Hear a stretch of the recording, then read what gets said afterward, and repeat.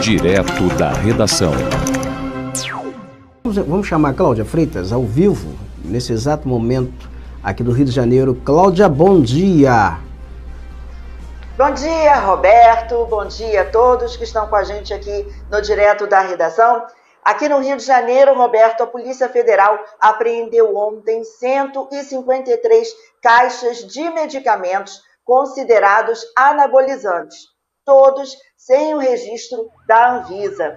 Esse material ele foi encontrado no Centro de Tratamento de Encomendas dos Correios, que fica em Benfica, na zona norte da cidade. Essa operação ela está sendo considerada uma das maiores apreensões de anabolizantes irregulares já feitas pela Polícia Federal no estado.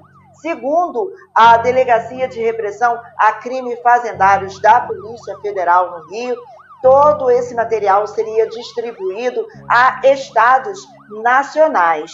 As investigações, Roberto, elas ainda estão em curso, mas, segundo a polícia, os responsáveis por esse crime devem responder por falsificação de medicamentos. Se forem condenados, podem pegar de 10 a 15 anos de detenção e ainda o pagamento de multa.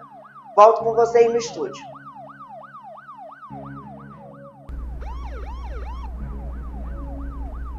Cláudia, muito obrigado. E a gente vai acompanhando aqui. Tá bom, querida? Obrigada, Roberto. Um bom dia para você e para todos.